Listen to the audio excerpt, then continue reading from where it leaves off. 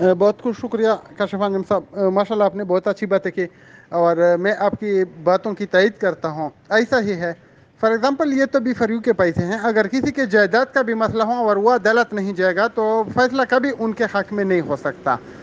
तो अभी अगर एक फारिग आता है, वो तो अपने आपको छुड़ाने के लिए आता है ना, सैफ रहमान? वो इसलिए तो नहीं आता कि हमको पैसे वापस कराए। उसका तो एक ही मिशन है कि वो कहीं से निकल जाए और रफो चक्र हो जाए तो आपकी बात सौ फ़ीसद दुरुस्त है।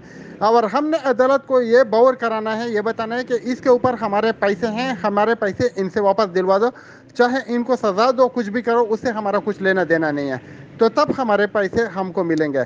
और अगर आपने जो तरतीब बताई कि अगर यानी दस में से तीन आदमी भी निकले तो हर आदमी का तीसरी पेशी पे भरी आएगा तो बहुत से लोग होंगे उधर। और अगर उधर पचास, सौ, दो सौ लोग हर पेशी पे होंगे ना तो मैं यकीन से कहता हूँ कि जो आपने बात बताई कि कुछ ही पेशियों में यानी मसला हल हो जाएगा तो इसमें कोई शक नहीं है।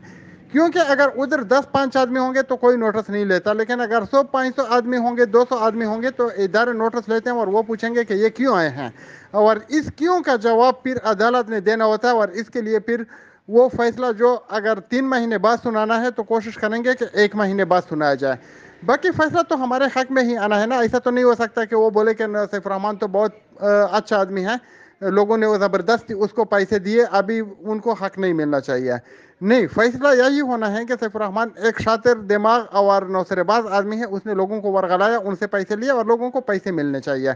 तो फैसला तो इन यही आएगा, हमें पूरा यकीन है।